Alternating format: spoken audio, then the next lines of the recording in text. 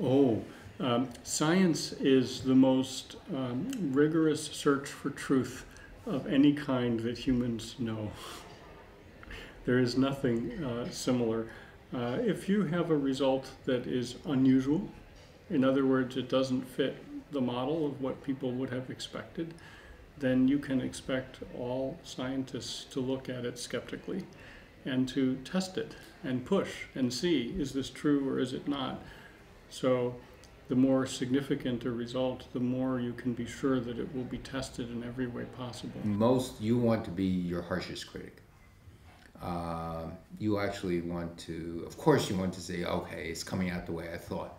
But the very best scientists are able to say, okay, maybe so, but take the other side and say, how could you be fooling yourself? Uh, maybe you're interpreting wrong, or right. You, and so the best scientists are their best known critics. Um, now, we also have a system in science where you do something, you give a talk, you write a paper, and other scientists uh, may not believe you. And there's also this dichotomy you write a paper, goes and the reviewer uh, says, no, no, no, this is wrong, or no, this is stupid, or it's been done before. And, and you just can't understand how the reviewer could be so stupid about not recognizing what a jewel this piece of work is. And then when you review someone else's work, the author thinks, how could this reviewer be so stupid? so this, I, am joking a little bit, uh, in, but in a certain sense, uh, this self-policing, first of the person to their own work, but also each other, uh, keeps the system honest. Good scientists don't do unuseful science.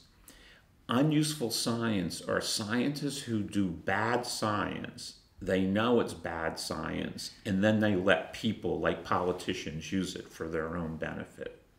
And I would call that to be unuseful science. And especially in the area of climate change, for instance, there's a lot of unuseful science. So, as a sci- the public has trouble with this. If you ask me, is there climate change? And I'm a world leader in energy, like there's a lot of people here. And I think they would all say the same thing I would say. I'm pretty sure there is. Now, why don't I say I'm sure of it unequivocally? Because a good scientist knows you only say I'm sure about something with a law of nature. So, what we do is we say you take the amount of science and data we know as we know it and then we put probabilities on it. So a bad scientist would say, no, there's no climate change, or yes, there's climate change, because yes means I'm 100% sure. If you're, we don't know. I can't say with 100% certainty, but I can say with a high level of confidence 95%, 98%. I'm confident there's climate change. When I'm on TV in America, if I say that, they'll have somebody else who is a scientist, but they're not real. And so, oh, so there's some doubt in your mind. And I say, yeah, there's some doubt because I'm 98 or not. And, and then I'll say, is there any doubt in your mind? And they'll say, no. And I said, okay, so the only thing we've established is you're a bad scientist. Because even the person who wants to say or is doubting it, they have to doubt it with some certainty.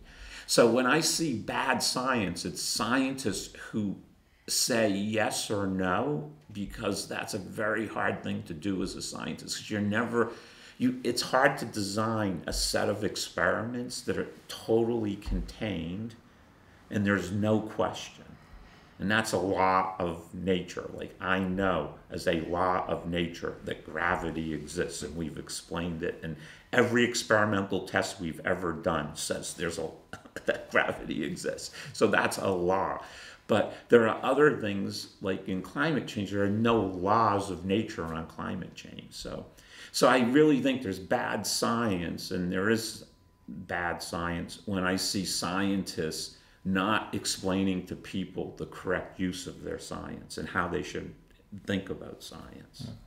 One of the most important things for all societies is to learn to um, respect the scientific method and also to use it as much as possible because it is truly a method that um, that is rigorous in its approach to truth.